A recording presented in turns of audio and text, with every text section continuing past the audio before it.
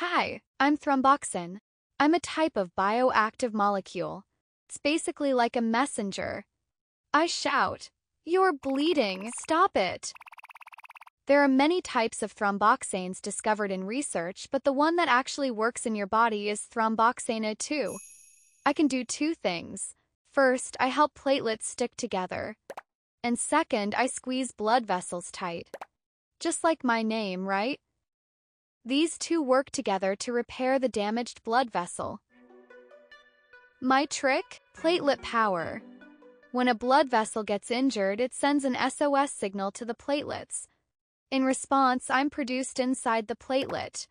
Then I jump out of the platelet and call out to other platelets, Gather up! And then I seal the wound with a clump of platelets. Von Willebrand factor acts like glue, helping platelets stick to the injured blood vessel wall.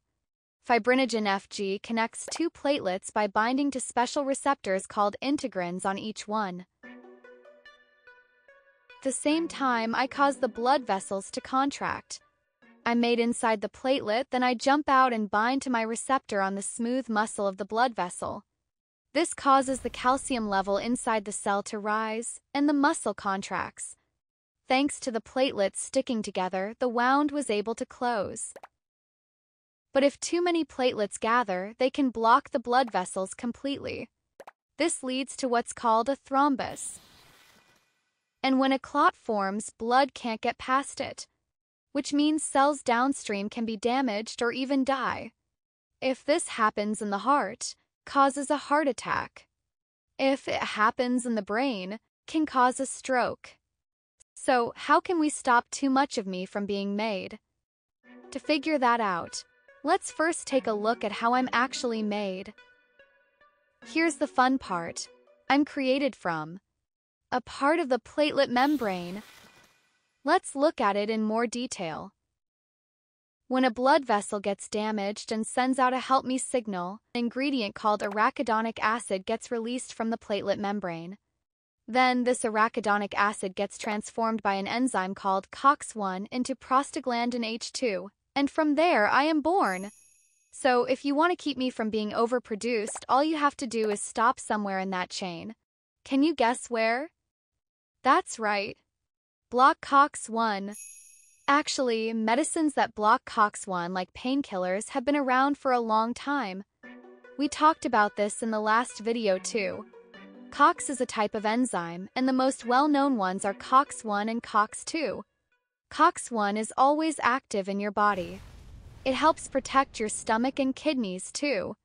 That's why some painkillers that block COX-1 can cause side effects in those organs. But here's the twist. Sometimes we want to block COX-1 on purpose, like when we're trying to prevent heart attacks or strokes. Now, you know the reason. By blocking COX-1, we can stop the overproduction of thromboxane 2, and that helps prevent blood clots from forming.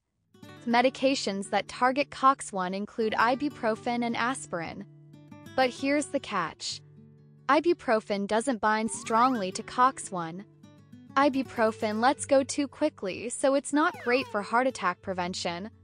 Aspirin, on the other hand, is amazing. Once it binds to COX-1, it never lets go. That means it keeps your platelets from clumping together for their whole lifespan, about seven days. And when aspirin is used to prevent heart attacks, it's given in a super small dose, just 80 to 100 milligrams. Why such a tiny dose? You got it. To protect your stomach and kidneys. Today, we uncovered why the headache pill aspirin is used to prevent heart attacks. Hope this boosts your test scores. See you in the next video. For quick, powerful reviews, this is the only channel. Don't forget to subscribe.